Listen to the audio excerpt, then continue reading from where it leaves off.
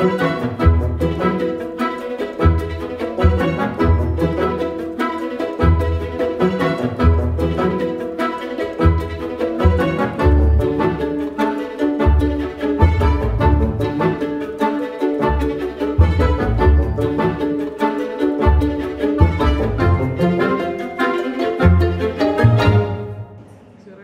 is the first time I'm visiting a cat show.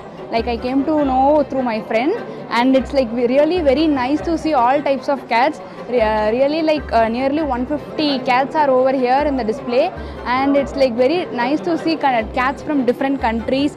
They are very friendly, and some cats are like responding very well to us. And it's overall it's a very relaxing and it's a very fun-filled experience to see all the cats over here.